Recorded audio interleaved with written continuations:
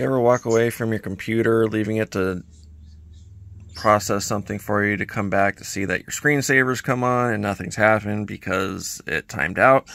Well, I'm going to show you how to use your flipper as a mouse jiggler so that way you can keep this thing awake uh, the entire time you're gone. This is actually probably one of my favorite, most used programs uh, of the flipper.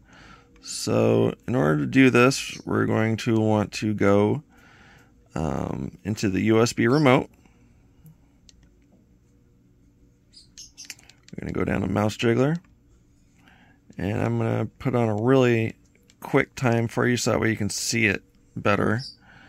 Um, make sure that it's plugged in.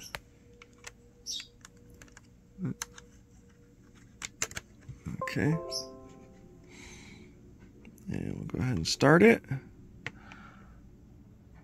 And that woke up the computer. And if you look at it here, it should be mo moving back and forth ever so slightly.